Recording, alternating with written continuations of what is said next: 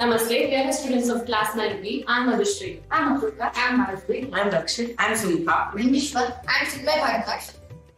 As part of this life skill activity, we were allowed to class today to make them socially responsible. It was a wonderful experience. In the first class, when we introduced themselves, they were very talkative. But when we started to tell, tell them the moral values of the life, they used to listen to us very carefully.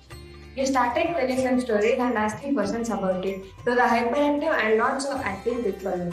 We make them learn speaking ability. I learned how to handle children. To make these to make these children socially responsible, uh, uh, we had to face many challenges. Some were hyperactive and some were not active. So we held counseling uh, sessions to make these children better. When we first went, they were very mischievous. Uh, they were not respecting anyone. They were uh, beating themselves. Uh, but after some time, after uh, we took counseling, uh, they were respecting. We even asked the opinion of their te- class teachers. Uh, they said that they were very disciplined and they were respecting others.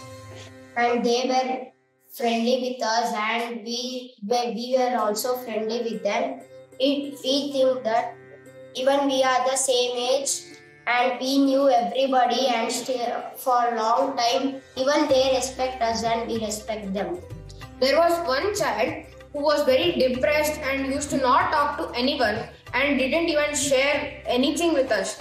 So we started counseling him and he start, sta- slowly started to talk. And we knew that he was very bright in studies and all, but he was very weak in uh, social social responsibilities and talking to others. So he has finally changed to a very good, confident person. Thank. Thank you.